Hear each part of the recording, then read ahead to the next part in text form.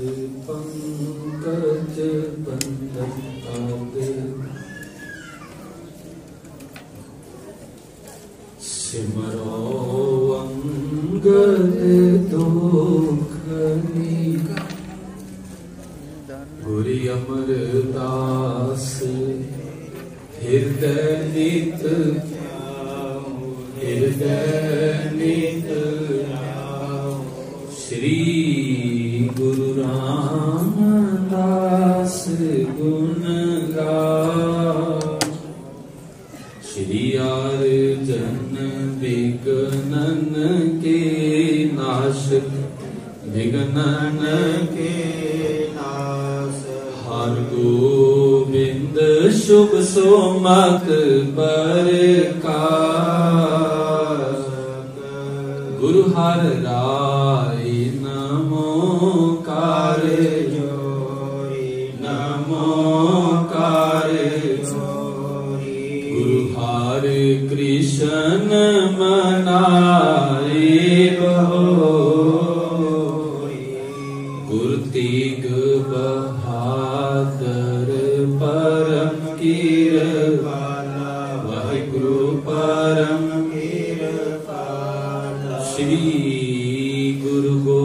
ਗੋਬਿੰਦ ਸਿੰਘ ਵਿਸ਼ਾਲਾ ਤਰੋਂ ਤਰਾ ਪਰ ਪੁਨ ਪੁਨ ਸੀਸਾ ਵਾਹਿਗੁਰੂ ਪੁਨ ਪੁਨ ਸੀਸਾ ਬੰਦੋ ਬਾਰ ਬਾਰ ਜਗਨੀ ਜਾ ਮੈਂ ਅੰਮ੍ਰਿਤ ਗਿਆਨ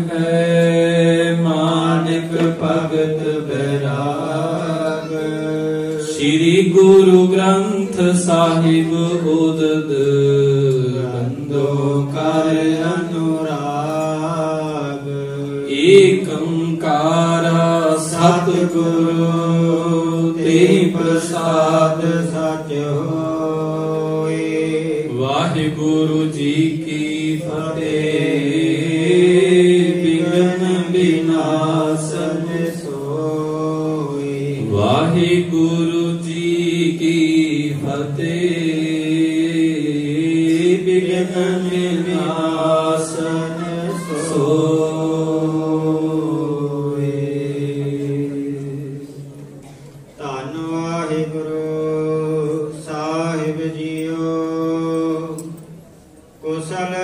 ਪਰਸਨ ਕਰ ਆਪਸ ਵਿਖੇ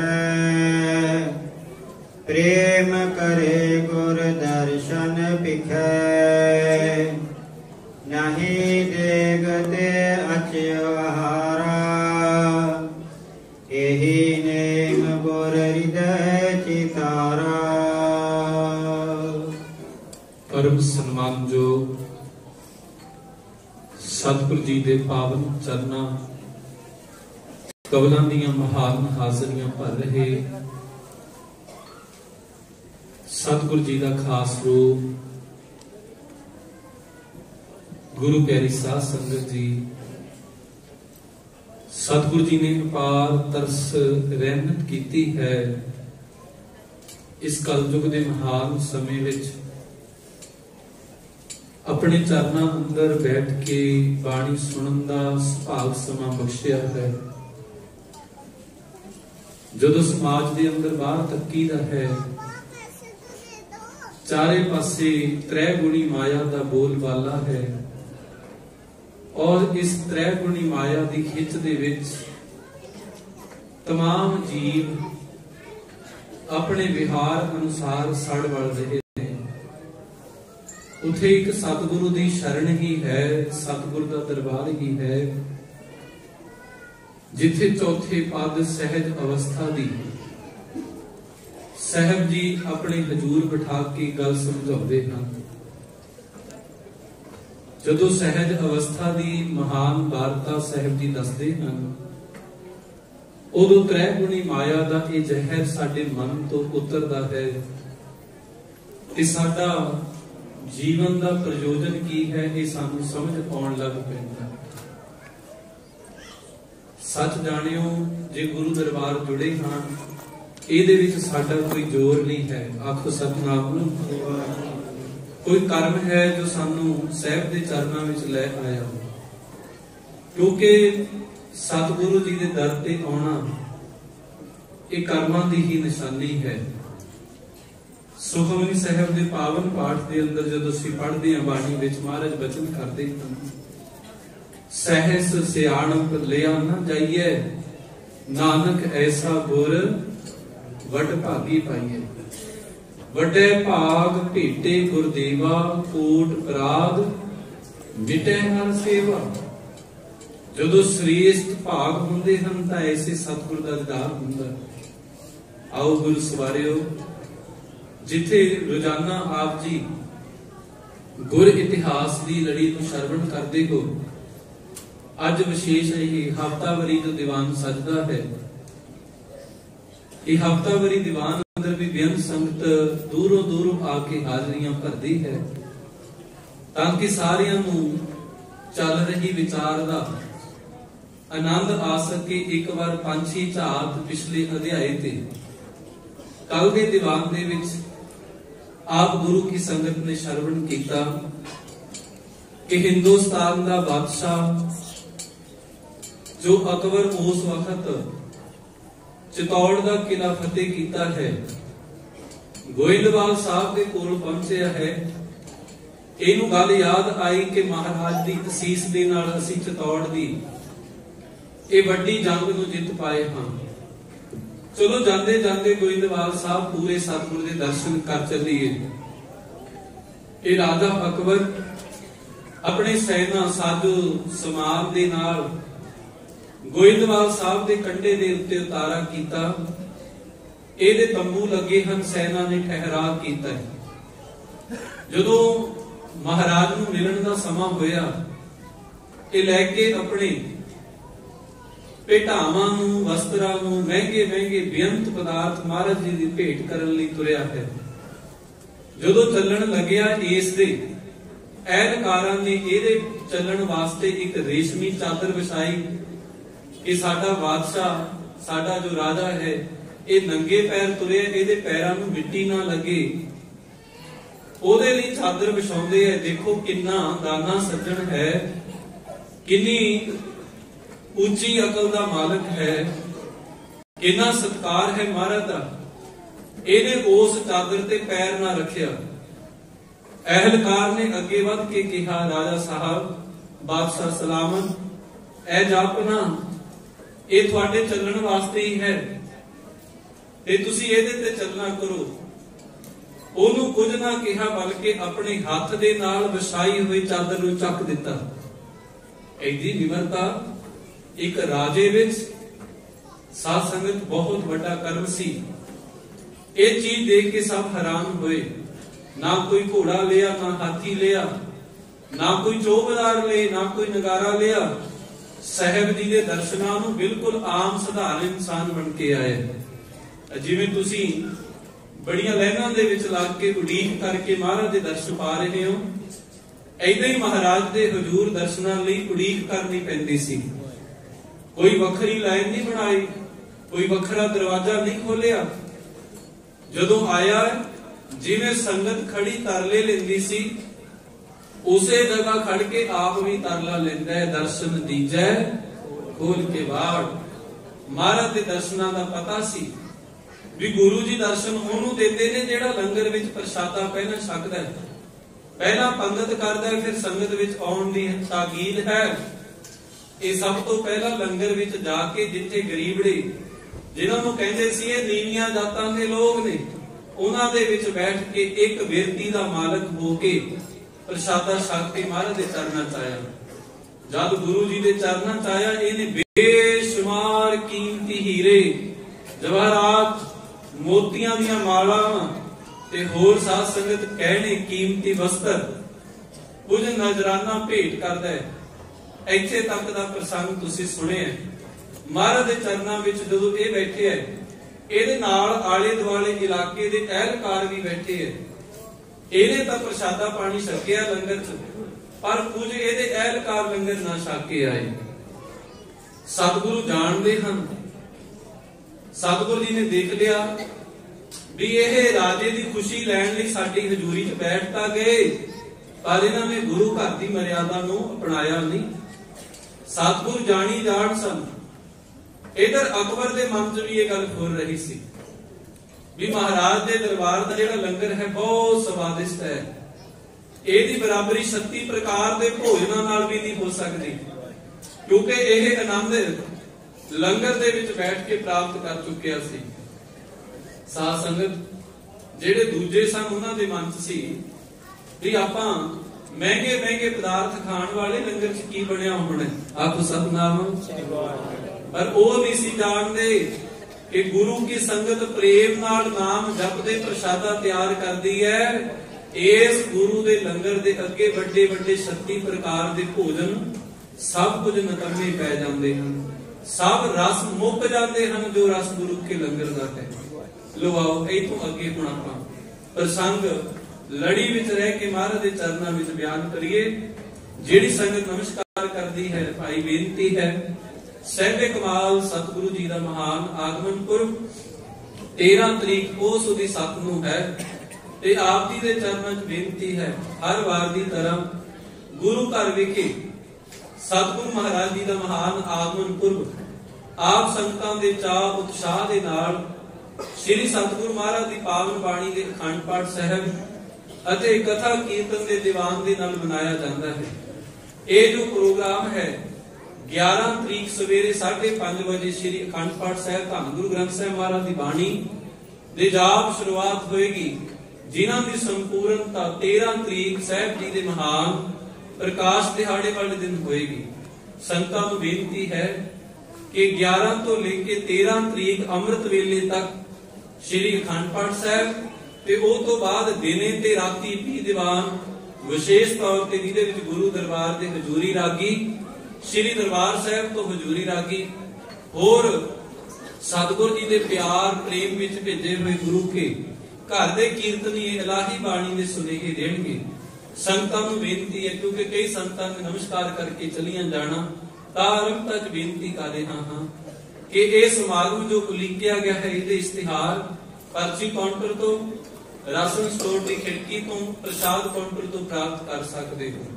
ਇੱਕ ਹੋਰ ਬੇਨਤੀ ਹੈ ਜੋ ਦਸੰਬਰ 2018 ਪਿਛਲੇ ਮਹੀਨੇ ਸ਼ਹੀਦੀ ਜੋੜ ਮੇਲਾ ਸਹਿਬਜ਼ਾਦਿਆਂ ਦੀ ਯਾਦ ਵਿੱਚ, ਉਹਨਾਂ ਮਹਾਨ ਸਿੰਘ ਸਿੰਘਣੀਆਂ ਦੀ ਯਾਦ ਵਿੱਚ ਪ੍ਰੋਗਰਾਮ ਸ਼ਹੀਦੀ ਪੰਦਰਵਾੜੇ ਦਾ ਉਲੀਕਿਆ ਸੀ, ਜਿਹਦੀ ਰਿਕਾਰਡਿੰਗ ਫਤਿਹ ਚੈਨਲ ਵੱਲੋਂ ਕੀਤੀ ਗਈ ਸੀ।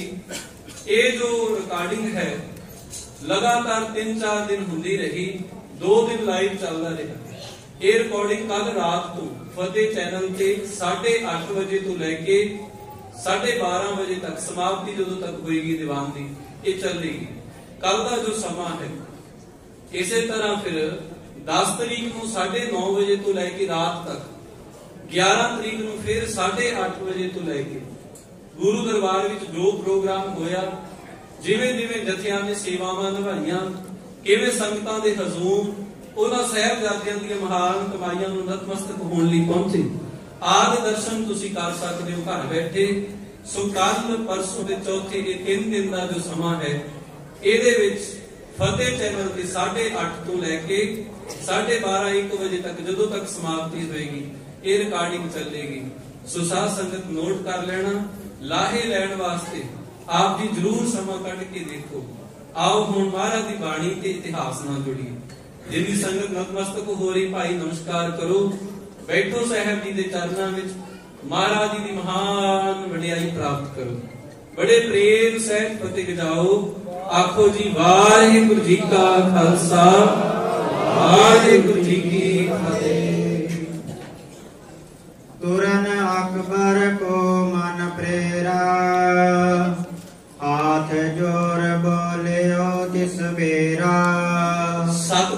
ਸਤਿਗੁਰੂ ਬੈਠੇ ਬੈਠੇ ਕਹਿਣ ਲੱਗੇ, ਮਹਾਰਾਜ। ਦੀਨ ਦਿਆਲ ਸਤਿਗੁਰੂ ਬੈਠੇ ਬੈਠੇ ਅਕਬਰ ਨੂੰ ਕਹਿਣ ਲੱਗੇ, ਰਾਜੇ ਅਕਬਰ ਨੂੰ, ਕਿ ਇਹ ਜਿਹੜੇ ਤੇਰੇ ਨਾਲ ਅਹਿਲਕਾਰ ਆਏ ਇਹਨਾਂ ਗੁਰੂ ਘਰ ਦੀ ਮਰਿਆਦਾ ਅਪਣਾਈ ਨਾ। ਇਹਨਾਂ ਨੂੰ ਆਖੋ ਵੀ ਜੇ ਸਾਡੇ ਦਰਸ਼ਨ ਪਾਉਣੇ ਐ ਸਾਡੇ ਬਚਨਾਂ ਨੂੰ ਸੁਣਨਾ ਚਾਹੁੰਦੇ ਹੋ, ਸਾਡੀ ਸੰਗਤ ਕਰਨੀ ਚਾਹੁੰਦੇ ਹੋ ਪਹਿਲਾ ਗੁਰੂ ਦਰਬਾਰ ਦਾ ਨਿਯਮ ਹੈ ਲੰਗਰ ਛਕੋ ਪ੍ਰਸ਼ਾਦਾ ਛਕੋ ਫੇਰ ਆਓ। ਤੇ ਸੁਣ ਕੇ ਹੈਰਾਨ ਹੋ ਗਏ।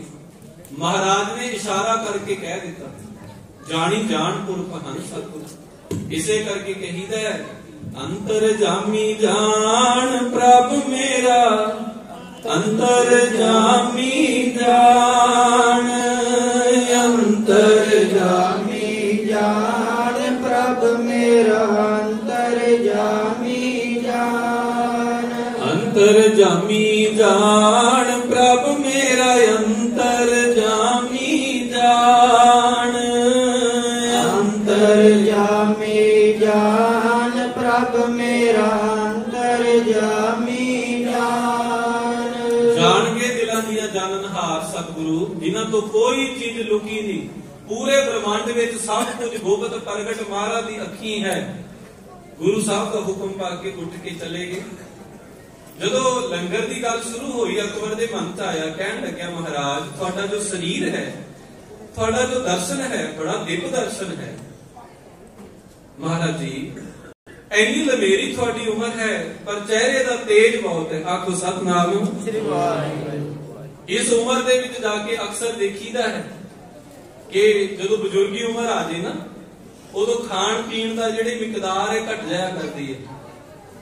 ਉਦੋਂ ਲਿਮਟ ਦਾ ਇਨਸਾਨ ਖਾਂਦਾ ਹੈ।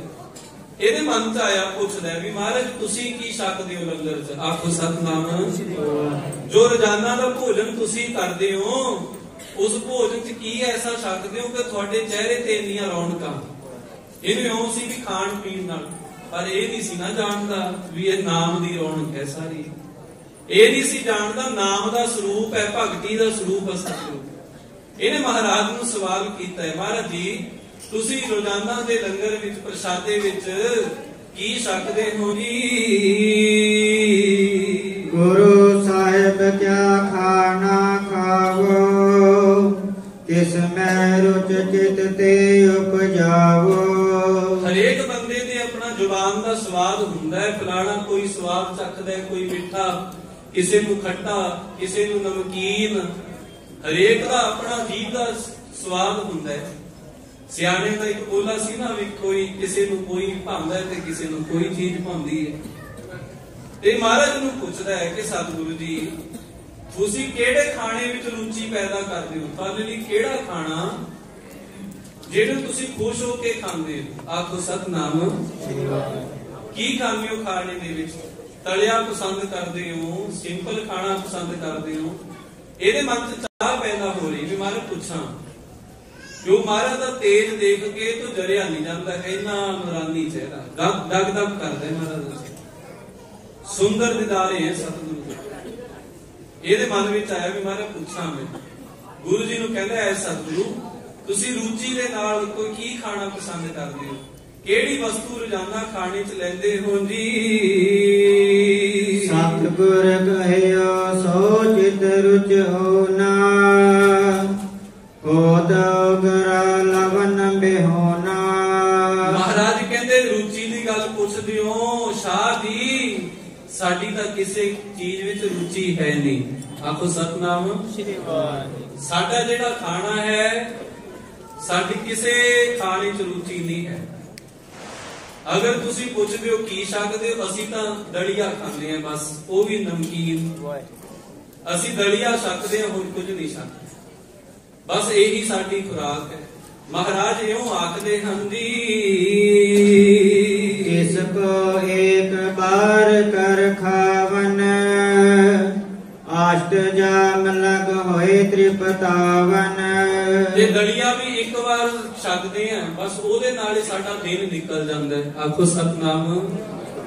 ਕਿਉਂਕਿ ਮਹਾਰਾਜ ਆਪਣੀ ਬਾਣੀ ਵਿੱਚ ਵੀ ਦੱਸਦੇ ਆ ਕਿ ਭਗਤਾਂ ਕੀ ਚਾਲ ਨਰਾਲੀ ਚਾਲਾਂ ਨਰਾਲੀ ਭਗਤਾਂ ਕੇਰੀ ਵਿਖਮ ਮਾਰਗ। ਹੁਣ ਜਿਹੜੇ ਸੰਸਾਰੀ ਜੀਵ ਆਪਾਂ ਹਾਂ, ਅਸੀਂ ਪੇਟ ਭਰ ਕੇ ਛਕਦੇ ਹਾਂ। ਦੋ ਦੋ ਤਿੰਨ ਤਿੰਨ ਚਾਰ ਚਾਰ ਵਾਰ ਛਕਦੇ ਹਾਂ। ਪਰ ਜਿਹੜੇ ਭਗਤ ਹਨ, ਉਹ ਥੋੜਾ ਖਾਂਦੇ ਹਨ ਥੋੜਾ ਥੋੜਾ ਸੌਂਦੇ ਹਨ ਤੇ ਥੋੜਾ ਬੋਲਦੇ ਹਨ। ਖਾਂਦੇ ਹਨ, ਛੱਡਦੇ ਨਹੀਂ, ਵਰਤ ਨਹੀਂ ਰੱਖਦੇ। ਪਰ ਉਹਨਾਂ ਦੇ ਖਾਣ ਦਾ ਬਹੁਤ ਬੰਨ ਹੁੰਦਾ ਹੈ। ਉਹ ਖਾਣ ਦੇ ਉੱਤੇ ਬਹੁਤ ਸੰਜਮ ਰੱਖਦੇ ਉਹ ਨਹੀਂ ਖਾਂਦੇ ਜੋ ਸਰੀਰ ਨੂੰ ਖਰਾਬ ਕਰੇ। ਮਹਾਰਾਜ ਕਹਿੰਦੇ ਐਦਾਂ ਦਾ ਅਸੀਂ ਕੋਈ ਖਾਸ ਨਹੀਂ ਖਾਂਦੇ। ਜਿਹਦੇ ਨਾਲ ਤੈਨੂੰ ਇਉਂ ਲੱਗੇ ਵੀ ਕੋਈ ਸਪੈਸ਼ਲ ਖੁਰਾਕ ਹੈ। ਬਸ ਅਸੀਂ ਤਾਂ ਦਲੀਆ ਹੀ ਸਕਦੇ ਹਾਂ ਜੀ। ਸੁਨ ਸੁਲਤਾਨ ਬਿਸਮਤਾ ਪਾਇਵ, ਬ੍ਰਿਧ ਦੇ ਨ ਉਜਰ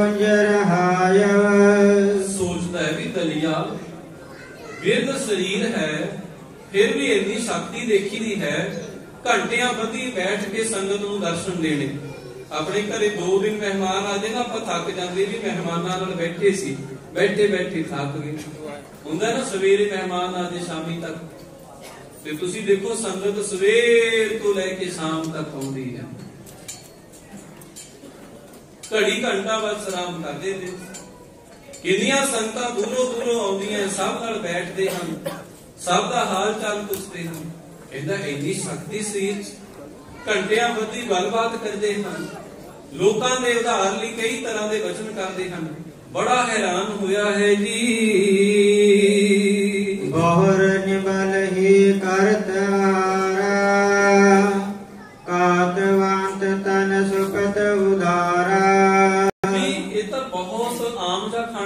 ਖਾਣਾ ਸਤਨਾਮ। ਵੀ ਮੈਂ ਇਉਂ ਲੱਗਦਾ ਵੀ ਗੁਰੂ ਜੀ ਮੇਰੇ ਤੋਂ ਛੁਪਾ ਰਹੇ ਹੈ ਕੁਝ ਇਹਦੇ ਮਨ 'ਚ ਖਿਆਲ ਆਇਆ ਵੀ ਮਹਾਰਾਜ ਜੀ ਮੇਰੇ ਤੋਂ ਛੁਪਾ ਰਹੇ ਆ ਕੁਝ ਵੀ ਮਹਾਰਾਜ ਹੋਰ ਵੀ ਕੁਝ ਛਕਦੇ ਹੋਣਗੇ। ਵੀ ਇਹ ਦਲੀਏ ਦੇ ਵਿੱਚ ਇੰਨੇ ਕਿਹੜੇ ਪੌਸ਼ਟਿਕ ਤੱਤ ਹੁੰਦੇ ਆ? ਜੋ ਮਹਾਰਾਜ ਦਾ ਸਰੀਰ, ਮਹਾਰਾਜ ਦਾ ਚਿਹਰਾ, ਮਹਾਰਾਜ ਦਾ ਨੂਰਾਨੀ ਦਿੱਖ ਬੜੀ ਕਮਾਲ ਦੀ ਹੈ। ਪਰ ਇਹ ਨਹੀਂ ਸੀ ਜਾਣਦਾ। ਕਿ ਬ੍ਰਹਮ ਗਿਆਨੀ ਕਾ ਭੋਜਨ ਗਿਆਨ ਬ੍ਰਹਮ ਗਿਆਨੀ ਕਾ ਭੋਜਨ ਗਿਆਨ ਬ੍ਰਹਮ ਗਿਆਨੀ ਗਿਆਨੀ ਕਾ ਭੋਜਨ ਗਿਆਨ ਬ੍ਰਹਮ ਗਿਆਨੀ ਕਾ ਭੋਜਨ ਗਿਆਨ ਬ੍ਰਹਮ ਗਿਆਨੀ ਕਾ ਭੋਜਨ ਗਿਆਨ ਬ੍ਰਹਮ ਗਿਆਨੀ ਕਾ ਭੋਜਨ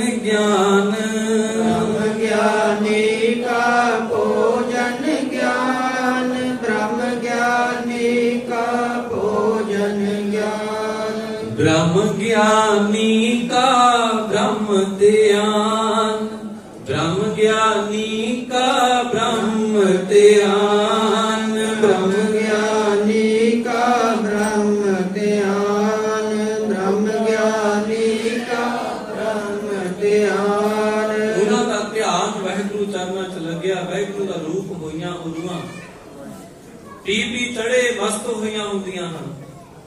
ਤੇ ਮਹਾਰਾਜ ਦੇ ਸੁਣ ਕੇ ਹੈਰਾਨ ਹੋਇਆ ਵੀ ਲੱਗਦਾ ਮਹਾਰਾਜ ਮੇਰੇ ਤੋਂ ਕੁਝ ਛੁਪਾ ਰਹੇ ਜਾਣੀ ਜਾਣ ਸਤਿਗੁਰ ਜੀ ਨੇ ਇਹਦੇ ਦਿਲ ਦੀ ਜਾਣੀ ਹੈ ਜੀ।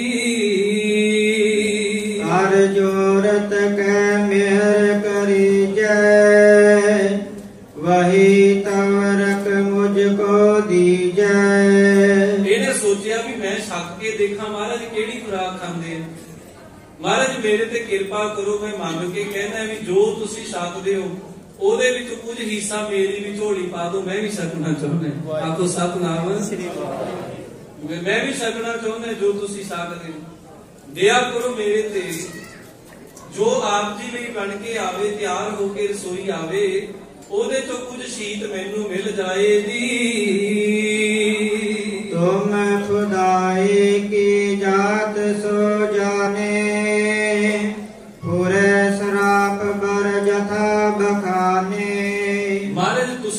ਜਾਣੀ ਜਾਣ ਹੋ, ਸਭ ਜਾਣਦੇ ਹੋ।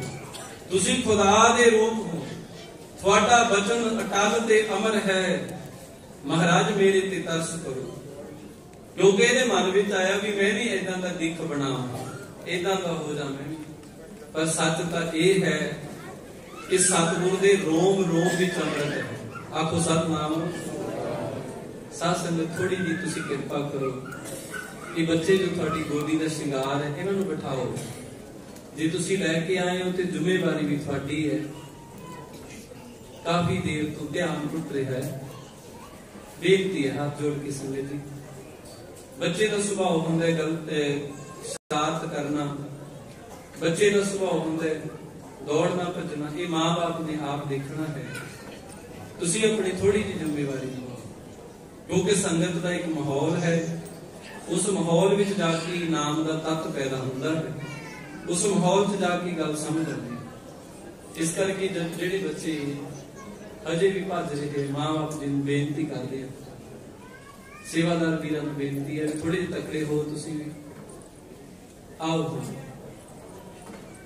ਅੱਗੇ ਵਚਨ ਕਰ ਰਿਹਾ ਸਾਂ ਸਤਿਗੁਰੂ ਮਹਾਰਾਜ ਜੀ ਨੇ ਇਹਦੇ ਦਿਲ ਦੀ ਜਾਣ ਲਈ ਤੇ ਜਦੋਂ ਇਹਨੇ ਇਸ ਤਰ੍ਹਾਂ ਮਹਾਰਾਜ ਵਾਲਾ ਭੋਜਨ ਛਕਣ ਲਈ ਗੁਰੂ ਜੀ ਨੂੰ ਬੇਨਤੀ ਕਰੀ ਹੈ ਜੀ।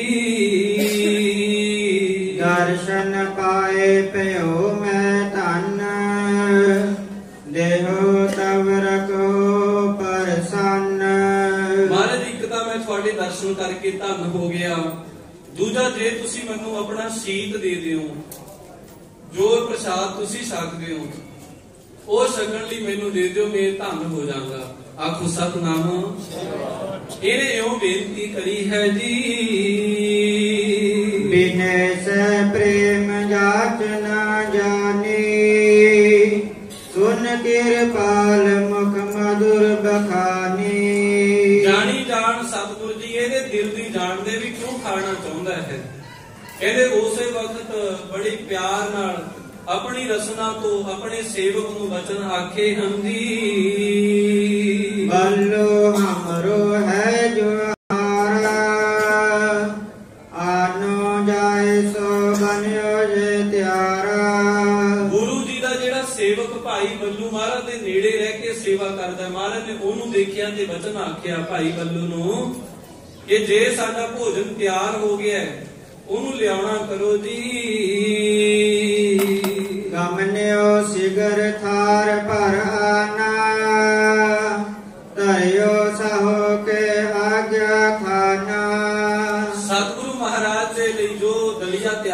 ਤਿਆਰ ਹੁੰਦਾ ਸੀ ਥਾਲ ਚ ਪਾ ਕੇ ਇਸ ਦਿੱਲੀ ਦੇ ਬਾਦਸ਼ਾਹ ਅਕਬਰ ਦੇ ਅੱਗੇ ਰੱਖਿਆ ਹੈ ਜੀ।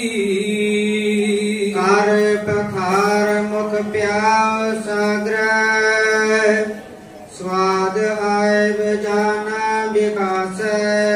ਕਹਿੰਦੇ ਹੱਥ ਧੋਏ ਮੂੰਹ ਕੁਰਲੀ ਕੀਤੀ ਹੈ। ਔਰ ਅਜੀਬ ਸਵਾਦ ਜਾਣ ਕੇ ਬਾਦਸ਼ਾਹ ਨੂੰ ਬਾਦਸ਼ਾਹ ਨੂੰ ਜਦ ਦੇਖਿਆ ਵੀ ਮੈਂ, ਇਹਨੂੰ ਛਕਾਂ ਉਹਨੇ ਗਰਾਹੀ ਚੱਕੀ ਹੈ, ਮੂੰਹ ਵਿੱਚ ਪਾਉਣ ਲੱਗਿਆ, ਸੋਚਦਾ ਵੀ ਪਤਾ ਨਹੀਂ ਕਿੱਦਾਂ ਦਾ ਸਵਾਦ ਹੋਏਗਾ। ਹੁਣ ਸਾਧੂਆਂ ਦਾ ਰਹਿਣਾ, ਸਾਧੂਆਂ ਦਾ ਖਾਣਾ, ਸਾਧੂਆਂ ਦਾ ਬੋਲਣਾ, ਇਹ ਹਰ ਹਰ ਇੱਕ ਇਨਸਾਨ ਨੂੰ ਨਹੀਂ ਪਤਾ।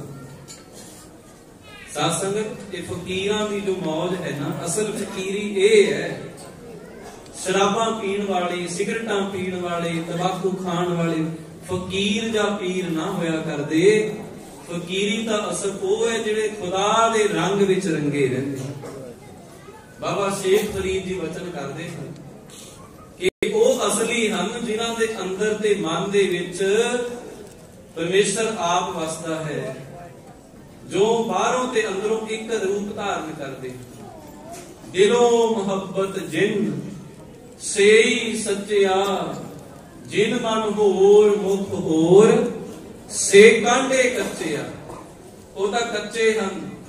ਬਾਹਰ ਤੇ ਦਿਖਾਵਾ ਕੋਈ ਹੋਰ, ਅੰਦਰ ਕੁਝ ਹੋਰ ਹੋਵੇ। ਗੱਲਾਂ ਨਾਮ ਦੀਆਂ ਤੇ ਅੰਦਰ ਨਸ਼ਿਆਂ ਦੇ ਨਾਲ ਜੁੜੇ ਉਹਨਾਂ ਨੂੰ ਫਕੀਰ ਨਹੀਂ ਕਹਿੰਦੇ। ਫਕੀਰੀ ਤਾਂ ਅਸਲ ਉਹ ਹੈ ਜਿਹੜੇ ਨਾਮ ਦਾ ਨਸ਼ਾ ਕਰਦੇ ਹਨ। ਜਿਹੜਾ ਨਾਮ ਪਹਿਨਦੇ ਹਨ, ਨਾਮ ਬੋਲਦੇ ਹਨ, ਉਹਨਾਂ ਦਾ ਨਾਮ ਹੀ ਖਾਣਾ ਬਣ ਜਾਂਦਾ ਹੈ। ਜਦੋਂ ਇਹਦੇ ਸਾਹਮਣੇ ਰੱਖਿਆ ਅਜੀਬ ਦਾ ਸਵਾਦ ਜਾਣ ਕੇ ਖਾਣ ਲੱਗਿਆ ਸੋਚਦਾ ਹੈ ਪਤਾ ਨਹੀਂ ਕਿਵੇਂ ਦਾ ਸਵਾਦ ਹੋਏਗਾ ਜੀ। ਜੇ ਤਿਕ ਮధుਰਤਾ ਹੋਤਮ ਹੈ ਪ੍ਰਥਮ ਕਵਰ ਮੈਂ ਸਾਧ ਸੋਲ ਹੈ। ਸਾਧ ਸੰਗਤ ਕਿਉਂਕਿ ਦੇਖੋ ਇੱਕ ਰਾਜਾ ਤੇ ਇੱਕ ਨਾਰਮਲ ਇਨਸਾਨ ਉਹਦੀ ਖੁਰਾਕ ਦਾ ਬੜਾ ਫ਼ਰਕ ਹੁੰਦਾ ਹੈ। ਦੇਖੋ ਨਾ ਇੱਕ ਬੰਦੇ ਨੇ ਚੰਗੇ ਰਸੋਈ, ਸੂਪਕਾਰ, ਚੰਗੇ ਲਾਂਗੜੀ ਦੇ ਹੱਥੋਂ ਬਣਿਆ ਰੋਜ਼ ਭੋਜਨ ਖਾਣਾ। ਉਹਨੂੰ ਬਾਹਰ ਦੀ ਫਿਰ ਚੀਜ਼ ਚੰਗੀ ਨਹੀਂ ਲੱਗਦੀ। ਉਹ ਜਿਹੜਾ ਬੰਦਾ ਘਰ ਦੇ ਵਿੱਚ ਚੰਗੇ ਢੰਗ ਨਾਲ ਪ੍ਰਸ਼ਾਦਾ ਛਕਦਾ, ਉਹ ਕਹਿੰਦਾ ਬਾਹਰ ਛਕ ਕੇ ਨਹੀਂ ਆਨੰਦ। ਇਹ ਸਵਾਦ ਜਾਣ ਕੇ ਖਾ ਰਿਹਾ ਭੋਜਨ। ਨੂੰ ਵੀ ਮੈਂ ਦੇਖਾਂ ਤਾਂ ਸਹੀ। ਮਹਾਰਾਜ ਨੇ ਇਹਦੀ ਇੱਛਾ ਪੂਰੀ ਕੀਤੀ, ਇਹਨੂੰ ਸਵਾਦ ਹੀ ਦਿੱਤਾ ਇਹਦੇ ਚ। ਕਹਿੰਦੇ ਜਦੋਂ ਇਹਨੇ ਗਰਾਹੀ ਚੱਕੀ ਹੈ ਖਾਣਾ ਦੇਖਦਾ ਹੈ ਮਹਾਰਾਜ ਜੀ ਦਾ ਪ੍ਰਸ਼ਾਦਾ ਮਹਾਰਾਜ ਜੀ ਵਾਸਤੇ ਜੋ ਇਹ ਦਲੀਆ ਤਿਆਰ ਹੋ ਕੇ ਆਇਆ ਇਹਨੇ ਮੂੰਹ ਵਿੱਚ ਪਾਈ ਮధుਰ ਮਿੱਠਾ ਸਵਾਦ ਆਇਆ ਕੋ ਸਤਨਾਮ। ਇਹਦੀ ਜ਼ੁਬਾਨ ਰਸੀਲੀ ਹੋਈ ਹੈ ਦੀ ਰੁਚ ਜਾਗੇ ਤਬ ਦੂਸਰ ਖਾਵਾ। ਤੁਰਸ ਸਵਾਦ ਉਤਮ ਕੋ ਪਾਵਾ। ਕਹਿੰਦੇ ਮੂੰਹ ਮਿੱਠੇ ਨਾਲ ਭਰ ਗਿਆ ਇੰਨਾ ਮਿੱਠਾ ਮਿਠਾਸ ਅੱਜ ਤੱਕ ਇਹਨੇ ਛਕਿਆ ਨਹੀਂ ਸੀ ਇਦਾਂ ਦਾ ਕੋਈ ਭੋਜਨ। ਦਿਖਦਾ ਦਲੀਏ ਚੋਂ ਇਦਾਂ ਦਾ ਸਵਾਦ। ਇਹਦੇ ਮਨ 'ਚ ਰੁਚੀ ਜਾਗੀ, ਇਹਨੇ ਭਰਿਆ ਦੂਜੀ ਗਰਾਈ ਲਈ ਹੈ। ਜਦੋਂ ਦੂਸਰੀ ਗਰਾਈ ਪਾਉਂਦਾ ਹੈ ਮੂੰਹ ਦੇ ਵਿੱਚ, ਇਹ ਸਵਾਦ ਕਿਉਂ ਬਦਲਿਆ ਹੈ ਜੀ।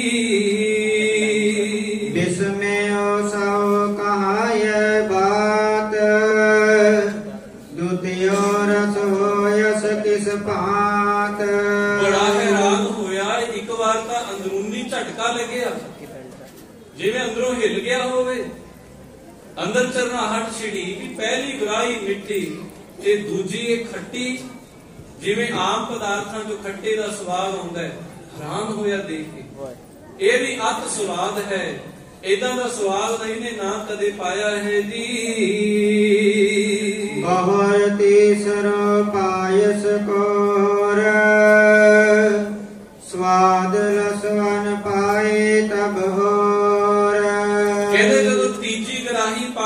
ਸਵਾਦ ਸਲੂਣਾ, ਖੱਟਾ ਤੇ ਮਿੱਠਾ, ਆਖੋ ਸਤਨਾਮ। ਤਬਾ ਹੁਣ ਇਹਦੀ ਹੈਰਾਨੀ ਦੀ ਹੱਦ ਨਾ ਰਹੀ। ਬਹੁਤ ਹੈਰਾਨ ਹੈ। ਬਹੁਤ ਜ਼ਿਆਦਾ ਅਸਰਜ ਵਿੱਚ ਪਿਆ ਹੈ। ਵੀ ਭੋਜਨ ਇੱਕ ਹੈ, ਬਰਤਨ ਇੱਕ ਹੈ, ਖਾਣ ਵਾਲਾ ਜੋ ਜੋ ਹੈ, ਚਮਚ ਉਹ ਇੱਕ ਹੈ। ਵੀ ਇੱਕ ਭੋਜਨ ਤੋਂ ਇੰਨੇ ਸਵਾਦ ਕਿਵੇਂ ਆਉਂਦੇ ਪਏ ਨੇ? ਕਈ ਤਰ੍ਹਾਂ ਦੇ ਸਵਾਦ ਮਾਣਦਾ ਹੈ ਜੀ ਚਤਰਸ ਮੈਂ ਪਾਇਸ ਕੋ ਪਾਇਸ ਜੋ ਜੋ ਅਚ ਤਿਉ ਜੋ ਬਿਸਮਾਇਸ ਕਹਿੰਦੇ ਜਦੋਂ ਚੌਥੀ ਵਾਰ ਪਾਇਆ ਸਵਾਦ ਹੋਰ ਬਦਲਦਾ ਹੈ। ਕਹਿੰਦੇ ਜਿੰਨੀ ਵਾਰ ਗਰਾਹੀਆਂ ਮੂੰਹ ਚ ਪਾਉਂਦਾ ਹੈ, ਅੱਜ ਤੱਕ ਇਹਨੇ ਏਦਾਂ ਦਾ ਸਵਾਦ ਕਦੇ ਕਿਤੇ ਨਹੀਂ ਮਾਣਿਆ। ਜੋ ਰਸ, ਛੇ ਰਸ ਮੰਨੇ ਜਾਂਦੇ ਨੇ 36 ਪ੍ਰਕਾਰ ਮੰਨਿਆ ਜਾਂਦਾ ਭੋਜਨ। ਕਹਿੰਦੇ ਇਹਨੇ ਇਹ ਸਾਰਾ ਸਵਾਦ ਇਹਦੇ ਵਿੱਚੋਂ ਆਉਣ ਲੱਗਿਆ ਆਖੋ, ਸਤਨਾਮ।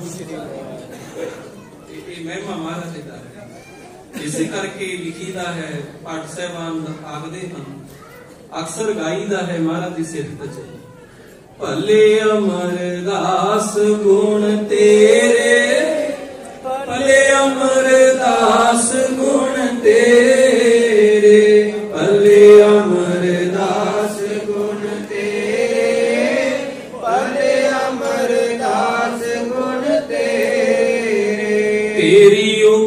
ਉਪਮਾ ਤੋਹੇ ਬਨ ਆਵੇ, ਤੇਰੀ ਉਪਮਾ ਤੋਹੇ ਬਨ ਆਵੇ, ਤੇਰੀ ਉਪਮਾ ਤੋਹੇ ਬਨ ਆਵੇ, ਤੇਰੀ ਉਪਮਾ ਤੋਹੇ ਬਨ ਆਵੇ। ਮਾਨੋ ਇਹ ਬਾਦਸ਼ਾਹ ਅਕਬਰ ਦੇ ਮੂੰਹ ਦੇ ਵਿੱਚੋਂ ਨਿਕਲਦਾ ਹੋਵੇ। ਮਾਲਕਾ ਤੇਰੀ ਮਹਿਮਾ।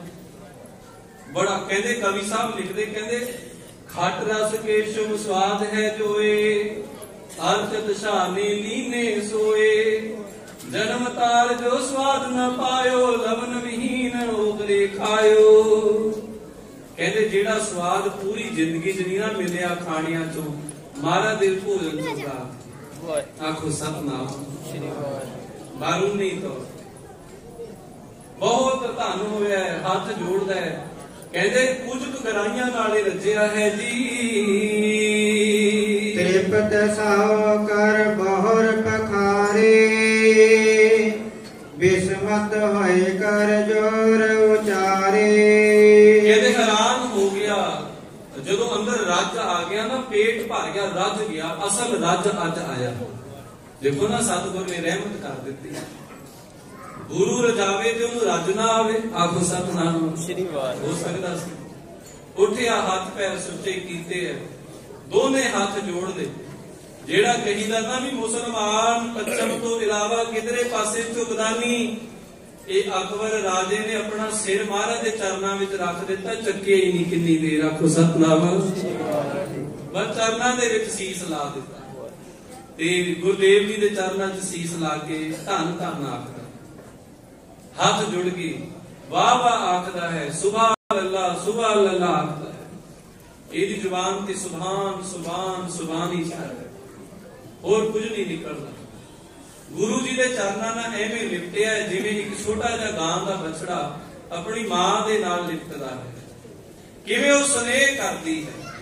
ਬਸ ਏਦਾਂ ਮਹਾਰਾਜ ਦੇ ਚਰਨਾਂ ਤੇ ਡਿੱਗ ਗਿਆ। ਸਭ ਦੇਖ ਕੇ ਹੈਰਾਨ ਹਨ। ਅਸਲ ਸਤਿਗੁਰ ਦੀ ਮਹਿਮਾ ਜਾਣ ਲਈ ਹੈ। ਇਹ ਕਾਮਲ ਹਨ। ਉੱਚ ਦਰਜੇ ਦੇ ਫਕੀਰ ਹਨ। ਖੁਦਾਈ ਆਪ ਧਰਤੀ ਤੇ ਆਈ ਹੈ। ਆਖੋ ਸਤਨਾਮ। ਸ੍ਰੀ ਵਾਹਿਗੁਰੂ ਜਿਵੇਂ ਭੱਟ ਸਾਹਿਬਾਨ ਨੇ ਲਿਖਿਆ ਨਾ ਮੰਨ ਲਓ ਇਹਦੇ ਅੰਦਰੋਂ ਵਾਰ-ਵਾਰ ਇਦਾਂ ਨਿਕਲਦਾ ਹੋਵੇ। ਭਲੇ ਅਮਰਦਾਸ ਗੁਣ ਤੇਰੇ। ਭਲੇ ਅਮਰਦਾਸ ਗੁਣ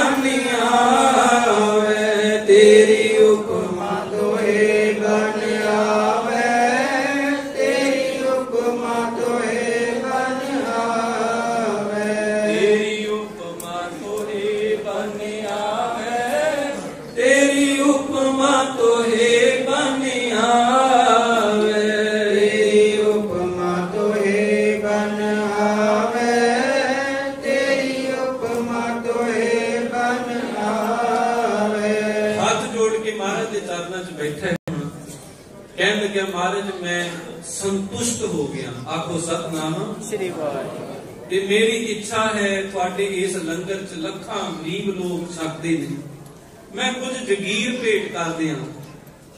ਮਹਾਰਾਜ ਨਾ ਨਾ ਕਰੋ, ਮੈਂ ਕੁਝ ਪਟਾ ਲਿਖ ਕੇ ਦੇਣਾ ਚਾਹੁੰਦਾ ਸਤਿਗੁਰੂ ਕਹਿੰਦੇ ਵੀ, ਸਾਨੂੰ ਇਸ ਚੀਜ਼ ਦੀ ਲੋੜ ਨਹੀਂ ਹੈ, ਕੋਈ ਰੁਚੀ ਨਹੀਂ ਸਾਨੂੰ। ਗੁਰੂ ਦਰਬਾਰ 'ਚ ਕਿਸੇ ਚੀਜ਼ ਦੀ ਕਮੀ ਨਹੀਂ ਹੈ। ਕਹਿੰਦੇ ਮਹਾਰਾਜ, ਮੇਰੀ ਇੱਛਾ ਹੈ। ਸਤਿਗੁਰੂ ਜੀ ਨੇ ਇਹਦੀ ਇੱਛਾ ਨੂੰ ਦੇਖਦਿਆਂ ਬਚਨ ਕੀਤਾ। ਵੀ ਜੇ ਕਰਨਾ ਹੀ ਹੈ ਜੋ ਗਰੀਬਾਂ ਦੇ ਉੱਤੇ ਤੂੰ ਟੈਕਸ ਲਾਇਆ ਹੋਇਆ ਹੈ। ਜੋ ਗਰੀਬ ਲੋਕਾਂ ਨੂੰ ਟੈਕਸ ਦੇਣਾ ਪੈਂਦਾ ਹੈ। ਕਿਉਂਕਿ ਸਾਧ ਸੰਗਤ ਕੋਲਾਂ ਦੇ ਉੱਤੇ ਜਿਹੜਾ ਮੁਸਲਮਾਨ ਸੀ, ਉਹ ਫ੍ਰੀ ਲੰਘਦਾ ਸੀ। ਜਿਹੜੇ ਗੈਰ ਮੁਸਲਮਾਨ ਸੀ, ਉਹਨਾਂ ਨੂੰ ਟੈਕਸ ਦੇਣਾ ਪੈਂਦਾ ਸੀ। ਜੇ ਉਹਨਾਂ ਨੇ ਆਪਣੇ ਨਾਲ ਗਾਂ ਲੈ ਕੇ ਜਾਣੀ ਅਲੱਗ ਟੈਕਸ ਦੇਣਾ ਪੈਂਦਾ ਸੀ। ਉਹਨਾਂ ਨੂੰ ਲੰਘਣ ਦੇ ਲਈ, ਜੀਣ ਦੇ ਲਈ ਅਲੱਗ ਟੈਕਸ ਸੀ।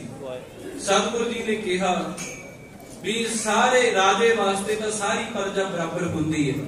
ਇਹਦੇ ਨਾਲ ਕਈ ਅਹਿਮ ਮੁੱਦਿਆਂ ਤੇ ਗੱਲ ਹੋਈ। ਜੋ ਇੱਕ ਸਮਾਜ ਦੇ ਵਿੱਚ ਰਾਜੇ ਦਾ ਰੋਲ ਹੁੰਦਾ ਹੈ, ਇਹਨੂੰ ਇਹਦੀ ਤਸਵੀਰ ਦਿਖਾਈ ਵੀ ਇਹ ਕੰਮ ਤੇਰੇ ਵੱਲੋਂ ਹੋਣੇ ਚਾਹੀਦੇ, ਨਹੀਂ ਹੋ ਰਹੇ। ਚੰਗੇ ਢੰਗ ਨਾਲ ਗੁਰੂ ਸਾਹਿਬ ਨੇ ਇਹਦੀ ਕਾਉਂਸਲਿੰਗ ਕੀਤੀ। ਇਨਸਾਨੀ ਕਦਰਾਂ ਕੀਮਤਾਂ ਤੋਂ ਜਾਣੂ ਕਰਾਇਆ ਤੇ ਕਿਹਾ ਵੀ ਇਹ ਜਿਹੜੇ ਟੈਕਸ ਲਾਏ ਹੋਏ ਨੇ, ਇਹ ਮਾਫ ਕਰ। ਜੋ ਗਰੀਬ ਲੋਕ ਹਨ ਜਿਸ ਪਾਸੇ ਗਰੀਬੀ ਬਹੁਤ ਜ਼ਿਆਦਾ ਹੈ, ਉਹਨਾਂ ਪਾਸੋਂ ਕਿਸੇ ਤਰ੍ਹਾਂ ਦਾ ਟੈਕਸ ਜਿੰਸ ਰੂਪ ਦੇ ਵਿੱਚ, ਕਣਕ ਰੂਪ ਦੇ ਵਿੱਚ, ਉਹਨਾਂ ਤੋਂ ਕਿਸੇ ਤਰ੍ਹਾਂ ਦਾ ਗੁਦਾਮਾਂ ਦਾ ਟੈਕਸ ਨਾ ਲਿਆ ਜਾਏ। ਇਹ ਮਹਾਰਾਜ ਬਚਨ ਮੰਨਿਆ ਹੈ। ਸਤਿਗੁਰੂ ਜੀ ਨੇ ਕਿਹਾ ਵੀ ਜਿਹੜੀ ਇੱਕ ਸਤੀ ਪ੍ਰਥਾ ਹਿੰਦੁਸਤਾਨ 'ਚ ਚੱਲਦੀ ਹੈ, ਪਤੀ ਦਾ ਮਰਨ ਤੋਂ ਬਾਅਦ ਪਤਨੀ ਨੂੰ ਚਿਖਾ ਦਾ ਜਾਣਾ ਪੈਂਦਾ ਹੈ। ਇਹਦੇ ਖਿਲਾਫ ਇੱਕ ਐਕਸ਼ਨ ਹੋਣਾ ਚਾਹੀਦਾ ਹੈ ਵੀ ਜੋ ਪਤੀ ਦੇ ਨਾਲ ਪਤਨੀ ਨੂੰ ਜਿੰਦਾ ਨਾ ਸਾੜਿਆ ਜਾਏ ਪਰਦੇ ਦੀ ਪ੍ਰਥਾ ਘੁੰਡ ਦੀ ਪ੍ਰਥਾ ਗੁਰੂ ਜੀ ਨੇ ਗੁਰੂ ਦਰਬਾਰ 'ਚ ਖਤਮ ਕੀਤੀ ਸੀ। ਤੇ ਨਾਲ ਗੁਰੂ ਜੀ ਨੇ ਫਿਰ ਇਹ ਸਤੀ ਪ੍ਰਥਾ ਦਾ ਵੀ ਇਹਨੂੰ ਗੱਲ ਕਹੀ ਵੀ ਇਸ ਖਿਲਾਫ ਦੇ ਵਿੱਚ, ਇਸ ਦੇ ਬਾਬਤ ਵੀ ਤੁਸੀਂ ਆਪਣਾ ਫਰਜ਼ ਪਛਾਣ ਕਰਕੇ ਇੱਕ ਇਸਤਰੀ ਨੂੰ ਜੀਣ ਦਾ ਹੱਕ ਹੈ, ਜੇ ਉਹਦਾ ਪਤੀ ਮਰ ਜਾਂਦਾ ਹੈ, ਉਹਦੇ ਨਾਲ ਜਿੰਦਾ ਨਾ ਸਾੜਿਆ ਜਾਏ। ਤਾਂ ਤੇ ਸਾਧ ਸੰਗਤ ਸਭਾ ਦੀ ਬੇਅੰਤ ਮੁੱਦਿਆਂ ਤੇ ਗੁਰੂ ਜੀ ਨੇ ਵਿਚਾਰ ਕੀਤੀ। ਕਿਉਂਕਿ ਇਹ ਸਾਖੀ ਮਹਿਮਾ ਪ੍ਰਕਾਸ਼ ਵਿੱਚ ਵੀ ਆਉਂਦੀ ਹੈ। ਉਹਦੇ ਵਿੱਚ ਹੋਰ ਕਈ ਗੱਲਾਂ ਉਜਾਗਰ ਕੀਤੀਆਂ ਹੋਈਆਂ ਹਨ। ਸਾਧ ਸੰਗਤ ਧੰਨ ਹੋਇਆ ਵੀ ਇੱਥੋਂ ਮੈਨੂੰ ਧਾਰਮਿਕ ਸੇਧ ਨਹੀਂ ਮਿਲੀ, ਬਲਕਿ ਰਾਜਨੀਤਿਕ ਤੌਰ ਤੇ ਲੋਕਾਂ ਵਿੱਚ ਕਿਵੇਂ ਪ੍ਰਿਯ ਹੋਣਾ ਹੈ, ਲੋਕ ਪ੍ਰਿਯਤਾ ਕਿਵੇਂ ਖੱਟਣੀ ਹੈ, ਉਸ ਚੀਜ਼ ਦਾ ਵੀ ਗਿਆਨ ਹੋ ਗਿਆ ਰਾਜੇ ਅਕਬਰ ਨੂੰ। ਔਰ ਮਹਾਰਾਜ ਦੇ ਚਰਨਾਂ ਨੂੰ ਨਮਸਕਾਰ ਕਰਦਾ ਹੈ ਤੇ ਕਹਿੰਦਾ ਜੀ, ਇਹ ਮੈਂ ਕੁਝ ਭੇਟ ਕਰਨਾ ਚਾਹੁੰਦਾ ਸਹਿਬ ਨੇ ਮਨਾ ਕਰ ਦਿੱਤਾ ਸੀ, ਪਰ ਫਿਰ ਇਹਨੇ ਕਈ ਜ਼ਮੀਨ ਪਿੰਡਾਂ ਦੀ ਭੇਟ ਮਹਾਰਾਜ ਨੂੰ ਕੀਤੀ। ਸਤਿਗੁਰੂ ਜੀ ਨੇ ਕਿਹਾ ਵੀ ਲੰਗਰ ਨੂੰ ਇਹ ਨਾ ਸਮਝੀਏ, ਲੰਗਰ ਦਾ ਸੰਗਤ ਦੀ ਦਸਵੰਦ ਦੀ ਕਮਾਈ ਨਾਲ ਚੱਲਦਾ। ਜੋ ਤੁਸੀਂ ਇੱਕ ਇੱਕ ਰੁਪਿਆ ਇੱਕ ਇੱਕ ਟਕਾ ਸੰਗਤ ਲੈ ਕੇ ਆਉਂਦੀ ਹੈ ਇਹ ਲੰਗਰ ਉਹਦੇ ਨਾਲ ਚੱਲਦਾ। ਇਹ ਲੰਗਰ ਕਿਸੇ ਰਾਜਨੀਤਿਕ ਮਲਕੀਅਤ ਨਹੀਂ ਹੈ। ਇਹਨੇ ਦੇਖਿਆ ਮਹਾਰਾਜ, ਮੇਰਾ ਵੀ ਕੁਝ ਯੋਗਦਾਨ ਪਾ ਲਓ ਫਿਰ ਇਸ ਲੰਗਰ 'ਚ। ਤੇ ਗੁਰੂ ਸਾਹਿਬ ਨੇ ਫਿਰ ਹਾਂ ਕੀਤੀ। ਸਤ ਸੰਗਤ ਇੱਕ ਵਿਸ਼ੇਸ਼ ਬੇਨਤੀ ਕਰਨੀ ਹੈ। ਇੱਕ ਸਿੱਖ ਦਾ ਹਮੇਸ਼ਾ ਫਰਜ਼ ਹੈ ਵੀ ਆਪਣੀ ਦਸਵੰਧ ਦਾ ਹਿੱਸਾ ਪੰਥਕ ਕਾਰਜਾਂ ਵਾਸਤੇ ਅਰਪਣ ਕਰੇ। ਭਾਵੇਂ ਉਹ ਗੁਰੂ ਕੇ ਲੰਗਰ ਵਾਸਤੇ, ਗੁਰੂ ਕੀ ਇਮਾਰਤ ਵਾਸਤੇ ਜਾਂ ਪੰਥਕ ਜੋ ਗਤੀਵਿਧੀਆਂ ਹਨ, ਸਮਾਜਿਕ ਗਤੀਵਿਧੀਆਂ ਹਨ, ਜਿਹਦੇ ਨਾਲ ਪੰਥ ਦਾ ਨਾਮ ਉਚੇਰਾ ਹੁੰਦਾ ਹੈ, ਉੱਥੇ ਉਸ ਦਸਵੰਧ ਨੂੰ ਆਪਣੀ ਨੂੰ ਖਰਚ ਕਰੇ। ਇਹ ਇੱਕ ਸਿੱਖ ਦਾ ਫਰਜ਼ ਬਣਦਾ ਹੈ। ਸੋ ਸਾਧ ਸੰਗਤ ਮੈਂ ਆਪ ਜੀ ਦੇ ਨਾਲ ਇਹ ਵਿਸ਼ੇਸ਼ ਬੇਨਤੀ ਤਾਂ ਕਰ ਰਿਹਾ ਹਾਂ, ਕਿਉਂਕਿ ਅਸੀਂ ਬਹੁਤਾਤ ਸਤਿਗੁਰ ਜੀ ਦੀ ਇਸ ਗੱਲ ਤੋਂ ਮੁਨਕਰ ਹੁੰਦੇ ਹਾਂ। ਗੁਰਦੇਵ ਨੇ ਸਾਨੂੰ ਇਹ ਪੱਕੇ ਤੌਰ ਤੇ ਹੁਕਮ ਕੀਤਾ ਹੈ ਕਿ ਜੇ ਮੇਰੇ ਦਰਬਾਰ ਤੇ ਆਉਣਾ ਹੈ, ਤੇ ਆਪਣੀ ਮਿਹਨਤ ਕਰ ਤੇ ਉਹਦੇ ਵਿੱਚੋਂ ਗਰੀਬਾਂ ਦੀ ਮਦਦ ਕਰ। ਘਾਲ ਖਾਏ ਕਿਛ ਹੱਥੋਂ ਦੇ, ਨਾਨਕ ਰਾਹ ਪਛਾਣੇ ਸੀ। ਤੈਨੂੰ ਮੇਰੇ ਦਰਵਾਜ਼ੇ ਤੱਕ ਆਉਣ ਦਾ ਰਾਹ ਮਿਲੇਗਾ। ਤਾਂ ਤੂੰ ਉਹ ਰਸਤਾ ਪਛਾਣ ਸਕੇਗਾ। ਸਤਖੰਡ ਨੂੰ ਜਾਣ ਵਾਲਾ, ਜੇ ਆਪ ਮਿਹਨਤ ਕਰਕੇ ਮਿਹਨਤ ਦੇ ਪੈਸਿਆਂ ਦੇ ਵਿੱਚੋਂ ਗਰੀਬਾਂ ਦੀ ਮਦਦ ਕਰੇਗਾ। ਰਾਜੇ ਅਕਬਰ ਨੂੰ ਵੀ ਇਹ ਗੱਲ ਮਹਾਰਾਜ ਨੇ ਸਮਝਾਈ ਵੀ ਇਹ ਜੋ ਲੰਗਰ ਸਭ ਚੱਲਦੇ ਹਨ, ਇਮਾਰਤਾਂ ਦੇ ਕਾਰਜ ਹੁੰਦੇ ਹਨ, ਇਹ ਸੰਗਤ ਦੀ ਦਸਵੰਧ ਨਾਲੇ ਹੁੰਦੇ ਹਨ। ਇਹਨੇ ਕਿਹਾ ਜੀ, ਮੇਰਾ ਵੀ ਫਿਰ ਕੁਝ ਹਿੱਸਾ ਪਾ ਲਓ। ਐਦਾ ਕੁਝ ਜ਼ਮੀਨ ਪਟਾ ਲਿਖਾ ਲਿਖ ਕੇ ਮਹਾਰਾਜ ਦੇ ਗੁਰੂ ਦਰਬਾਰ ਨੂੰ ਭੇਟ ਕਰਕੇ ਇਹ ਚਲਿਆ ਗਿਆ। ਸਾਧ ਸੰਗਤ ਮਹਾਰਾਜ, ਜਾਣੀ ਜਾਣ, ਆਉਣ ਵਾਲੇ ਸਮੇਂ ਬਾਰੇ ਸੋਚਦੇ ਹਨ ਜੀ ਦੋਹਿਰਾ ਰਾਮਦਾਸ ਹਿਤ ਗ੍ਰਾਮ, ਸਭ ਲੀਨ ਗੁਰੂ ਮਹਾਰਾਜ। ਜਾਨ ਪੇਖਿਅਤ ਸਰਬਗਤ ਬਰਤਨ ਜਥਾ ਸਮਾਜ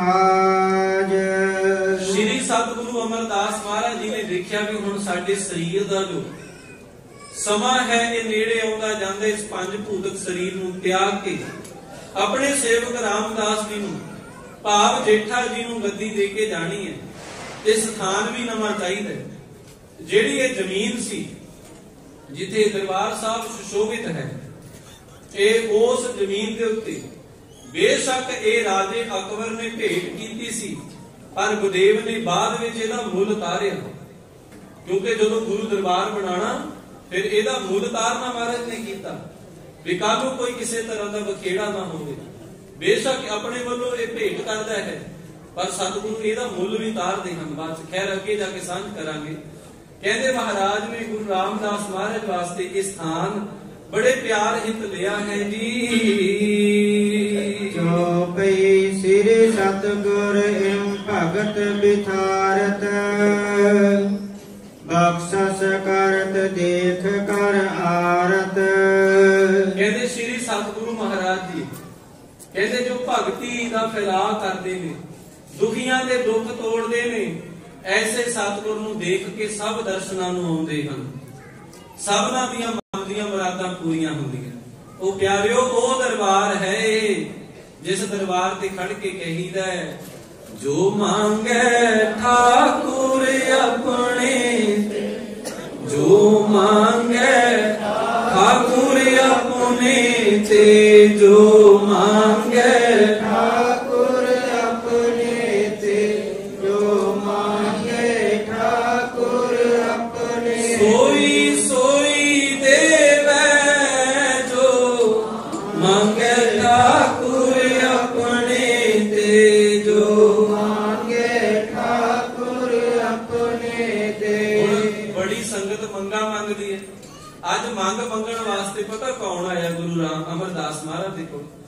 ਮਹਾਰਾਜ ਅਮਰਦਾਸ ਜੀ ਦੀ ਆਪਣੀ ਧੀ ਬੀਬੀ ਭਾਨੀ ਆਏ ਆ ਆਪੋ ਸਤਨਾਮ ਮਹਾਰਾਜ ਦੇ ਚਰਨਾਂ ਨਮਸਕਾਰ ਕੀਤੀ ਤੇ ਇੱਕ ਅਵੱਲੀ ਜੀ ਮੰਗ ਮਹਾਰਾਜ ਦੇ ਚਰਨਾਂ 'ਚ ਮੰਗਣ ਲੱਗੇ ਸਾਧ ਸੰਗਤ ਰਹਿੰਦੀਆਂ ਵਿਚਾਰਾਂ ਕੱਲ ਦੇ ਦੀਵਾਨ ਸਰ ਗੁਰੂ ਕਿਰਪਾ ਕਰੇ ਹੋਈਆਂ तमाम ਭੁੱਲਾਂ ਬਖਸ਼ ਦੇਣੀਆਂ ਫਿਰ ਤੋਂ ਇੱਕ ਵਾਰ ਬੇਨਤੀ ਕਰਦੇ ਹਾਂ ਸਹਿਬੇ ਕਮਾਲ ਸਰਬੰਸਦਾਨੀ ਕਲਗੀਆਂ ਵਾਲੇ ਪਟਨੇ ਦੇ ਵਾਸੀ ਨੀਲੇ ਦੇ ਸ਼ਾਹ ਸਵਾਰ ਨੰਦਾਂ ਦੀ ਪੁਰੀ ਦੇ ਮਾਲਕ ਅੰਮ੍ਰਿਤ ਦੇ ਦਾਤੇ ਸਤਿਗੁਰੂ ਸਾਹਿਬੇ ਕਮਾਲ ਸ੍ਰੀ ਗੁਰੂ ਗੋਬਿੰਦ ਸਿੰਘ ਮਹਾਰਾਜ ਦਾ ਮਹਾਨ ਆਗਮਨ ਪੁਰਬ ਉਸ ਦੀ 7 13 ਤਰੀਕ ਨੂੰ ਹੈ।